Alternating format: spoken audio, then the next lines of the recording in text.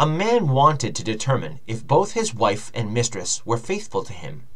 So he decided to send them on the same cruise, then later question each one on the other's behavior. When his wife returned, he asked her about the people on the trip in general, then casually asked her about the specific behavior of the passenger he knew to be his mistress. She slept with nearly every man on the ship, his wife reported. The disheartened man then met with his cheating mistress to ask her the same questions about his wife. She was a real lady, his mistress said. How so? the encouraged man asked.